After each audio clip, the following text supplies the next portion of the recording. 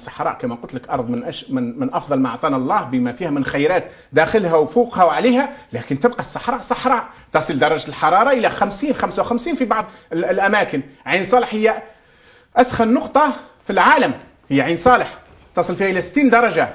ومن حولها لغواط هذه هي بداية الصحراء. جوان جوي أوت هي 40 فما فوق. في الواد تمشي والشاليمو يمشي موراك. من شدة الحرارة 8 تاع الصباح وكذلك في ورقله وكذلك في في بشار وكذلك في في اضرار سخن طيب. ناس تشرب ماء سخون ناس ما عندهاش فريجيديرات ناس ما عندهاش دي كليماتيزور إلا من رحم ربك وقلة. طيب إذا إذا جينا إذا جينا فكرة القابلين للفساد. يعني حبينا ولا كرهنا؟ كاين جزء كبير من المواطنين الجزائريين عندهم قابلين للفساد. انظر مثلا هناك رؤساء بلديات أميار يقولوا في الجزائر رؤساء بلديات فاسدين. في العشرية هذه الماضية كلهم كانوا فاسدين. يتقاضوا الرشوة الفساد في كل في كل قطاع من القطاعات في البلديات على مستوى القاعدة في الجزائر. مع ذلك ظهروا من جديد في الانتخابات اللي مرت كيف هؤلاء مفسدين؟ ومن جهة كنت كنتم تعانون الأمرين أمامهم أمام تسييرهم وتقولوا سوء التسيير ويتعاطون الرشوة وبعد ذلك تنتخبونهم. ما ينتخبوهم؟ شكون قال لك انتخبوا هذا هذه هي المغالطة الكبيرة. م. كيف طلع الجزائريين لم ينتخبوا. انتخبتهم مخابرات انتخبتهم DRS. هؤلاء رؤساء البلديات نعم في الجنوب. قبل ما تنتخب أي واحد في الجز... في, ال... في الانتخابات قبل ما يذهب أي كان للانتخابات لازم يوافقوا عليه. ترشيح قصدك. ترشيح لازم توافق عليه المخابرات بمعنى أن هناك انتخابات أولية توافق عليها ما يسمى بأجهزة الأمن DRS. ثم تعطى للناس. وش يعطى للناس؟ تعطى المتردية والنطيحة وما أكل السبع. خير بيناتهم. من السيء إلى الاسوء خير بيناتهم. يعني في أفضل الحالات خير السيء. فالناس ليس لها خيار. الناس ما همش طرحين أمامها كل الناس تستطيع أن تتقدم الانتخابات ولو في البلديات لا. لا لأنه هذا الطرح موجود. الطرح هذا موجود من قبل الحكومة. يقول نعم. قل هو من عند أنفسكم. لا مش أنتم من عند سمح أنتم سكان الجنوب تفتح. أنتم سكان الجنوب مسؤولون عن هذه الأوضاع. لماذا تنتخبون هؤلاء المفسدين؟ لأنك لم تسمح لي أن أنتخب المصلح. لأنك أنت المصلح تسقطه من القائمة. أسأل الأحزاب حتى هذه اللي تشارك معاهم. كم أسقطوا لهم من القوائم؟ أسألهم بمجرد ما يشموا فيه ريحة الصلاح أو عدم الخضوع. يسقطوه. نعم عندما يخيروه ما بين السيء والاسوء وبعدين كم ذهبوا للانتخابات؟ لا يتجاوزون 10% في أفضل الحالات 15 20% اذا 80% لا ينتخب. لا في البلديات ولا في البرلمان ولا في غيره. اذا هؤلاء لا يسمحون. وبعدين الناس أحيانا تشوف السيء والاسوء تخير ما أقل الأضرار. هذه قاعدة شرعية. تاخذ أقل الشرين أخف الشرين. لكن في نهاية المطاف هو لا يسمح هو لا يسمح بجمعيات لا يسمح بأحزاب إلا اللي يضعها في إطاره. والأحزاب اللي حتى سمح لها اسأل FFS واسأل النهضه واسأل الاصلاح حتى هذون وحمس اللي سمح لهم اللي مشاركين معاه. مع ذلك يسقط لهم ما يشاء ويترك ما يشاء. طيب. كيف لازم تعمل الجزائر حتى تخرج من هذه المشاكل؟ ليس هناك. مخرج أهم مشكلة هي البطالة؟ ليس شوف الآن الناس تتظاهر. اليوم هم ظاهروا في أضرار البارح في لغوات قبلها في عنابة الآخر في سطيف. هذه شيء جميل لكن عبثي عندما يستمر. على الجزائريين يتجمعوا في يوم واحد ويزحفوا على العاصمة. اللي زحفوا من ورقلة إلى حسي مسعود المرة الجاية لازم يزحفوا من ورقلة إلى العاصمة ومن البليده إلى العاصمة ومن وهران إلى العاصمة ومن عنابة إلى العاصمة ومن سطيف إلى العاصمة. عندما نزحف بالملايين ينتهي هذا النظام. هذا النظام ليس له إيديولوجيا ليس له من يساعده. فقط اللي راهم معاه اليوم حتى الشرطة حتى البوليس حتى كثيرين منهم والله يكتبون لي ويقولون لي والله لن نقتل الجزائري ولن نكون مع هذا النظام. نحن مثلكم. طيب أرحب مشاهدينا الكرام بانضمام الأستاذ عبد العزيز غرمول رئيس حركة الوطنيين الأحرار. الأستاذ عبد العزيز غرمول ما موقف حزبكم خاصة والأحزاب الأربعة عشر من هذا التصعيد الاجتماعي الذي تشهده مدن الجنوب الجزائري؟ والله اولا السلام عليكم. وعليكم السلام. إحنا عبرنا في الحقيقة سواء يعني كأحزاب فردية أو يعني في كمجموعة. نعم. يعني وحذرنا من من الوضع سواء في مدن الجنوب وفي مدن الشمال لأن الجزائر اليوم كلها راهي راهي تغلي على نار. آه، يعني ما يحدث الآن في في الجنوب هو هو جزء مما يحدث في الجمهورية الجزائرية. إحنا نعتقد ان أن يعني هذا التصعيد آه، آه، تأخر كثيرا بالنسبة للمشاكل اللي يعاني منها يعاني منها الشعب الجزائري. وإحنا طبعا نساندوا يعني هذا هذا التصعيد.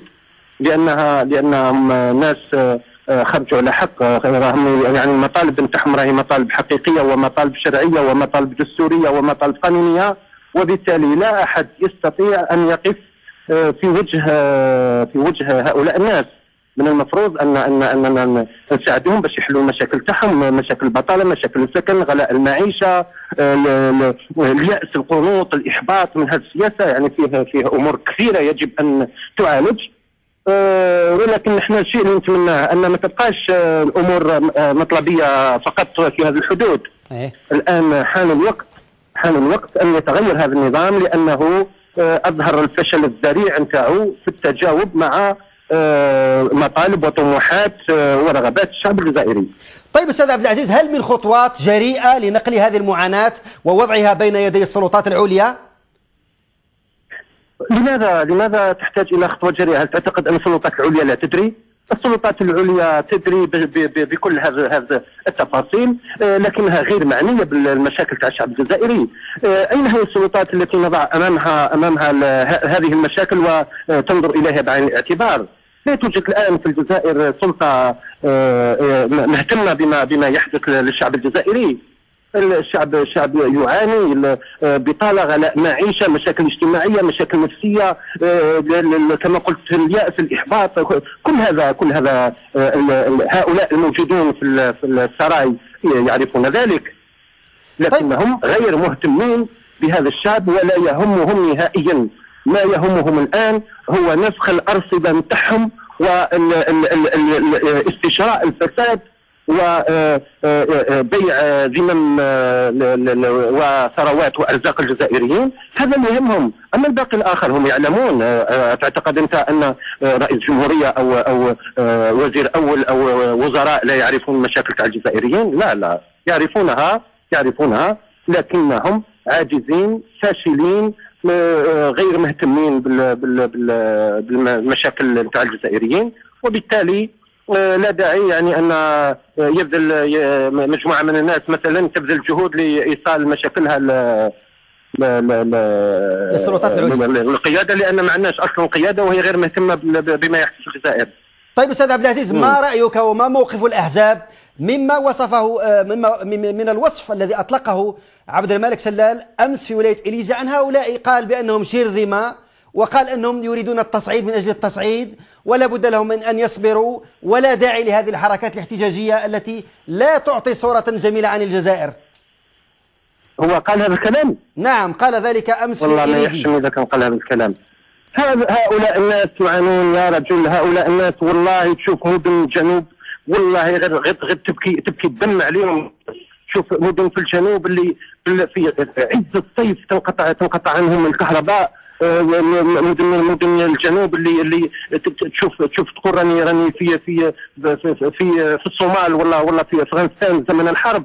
هذه هي المدن الجنوب؟ يعني من أين يأتيهم الصبر؟ أي سماء ستفتح عليهم بالصبر يا رجل؟ هؤلاء الناس يعانون ومن حقهم أن يطالبوا بترقية حياتهم. هذا حق من حقوقهم هذا مش حق هذا واجب شرعي عليهم. كيفاش يقول يقول هذا الرجل يقول انهم شرذمة وانهم كذا وكذا؟ لا لا لا لا, لا. نعم نعم لقد قال ذلك يا سلام بامكانكم مراجعة الخطاب الذي أدلى به هناك في اليزي جنوب الجزائر. وبالمناسبة أنا أشكرك جزيل الشكر أستاذ عبد العزيز غرمول رئيس حركة الوطنيين الأحرار. كنت معنا من الجزائر. أعود إليك أستاذ محمد العربي. البارحة رجب طيب أردوغان رئيس وزراء تركيا خطب في البرلمان برلمان تركيا. قال له قال لهم إنني جئت أريد أن أزف إلى أذهانكم خبرا سعيدا. فالكل كان ينتظر فقال لهم إن تركيا ما تزال في جعبتها ثلاثة أشهر وتتخلص من الديون. بقيت 400 مليون دولار ثم تركيا تتخلص من الديون. الشطر الثاني من كلامه قال إن تركيا ستدخل من تدخل في مصاف الدول الدائنة يعني التي تقدم ديونا أو قروضا لدول أخرى. بين قوسين تركيا ليست دولة نفطية. ماذا فعلت تركيا وماليزيا وإندونيسيا؟ هذه الدول اللي هي محسوبه العالم الثالث. لكن مع ذلك فاقتنا درجات ودرجات.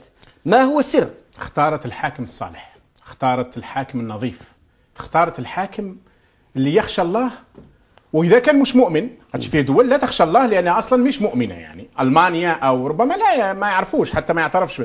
على الأقل يخشى الشعب.